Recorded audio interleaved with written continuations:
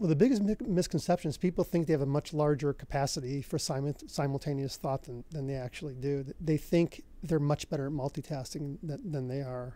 Because of this brain's um, bottleneck, because of this inability to think about multiple things simultaneously, you're sort of sipping at the outside world through a straw. And you have this illusion that you understand more about what's going on around you because your brain integrates across time and puts things together into a big picture. But a lot of what your brain is doing this time it's making predictions based on what just happened. So nothing's going to happen over there because I know nothing's over there right now.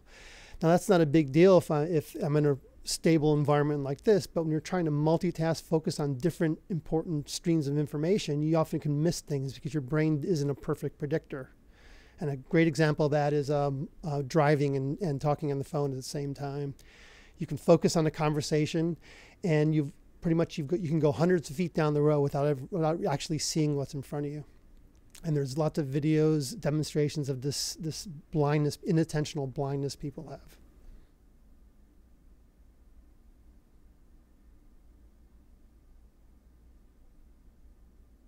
Humans have a great ability to be flexible in their thought. They can change their their their line of thought from from moment to moment, change their mind. But there's a cost to that, and there's it's something called switch cost. You have to your cognitive apparatus in your brain has to reconfigure from one mode of thought to another. So whenever you switch from one to another, you, you cognitively stumble a little bit. You slow down. You get more error prone. You miss things as your brain sort of reconfigures to the new configuration.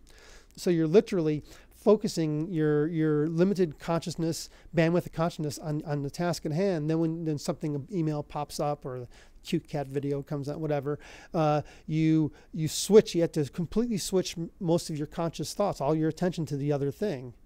And you're not really the, the thing you were originally working on is sort of completely out of mind. You may think you're juggling these two things uh, uh, very effectively, but actually you're, you're not. You're just switching. You're not. You're not thinking about two tasks at once. You're usually doing two tasks at once. You're usually switching back and forth very rapidly with this illusion that you're keeping multiple balls in the air.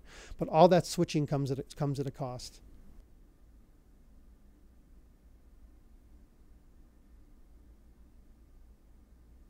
I'm guilty like everybody else. I have my my um, I have my Android tablet and I have my smartphone. I have my multiple screen computer. So it, it's a temptation. You get you get sucked into it, and it's hard.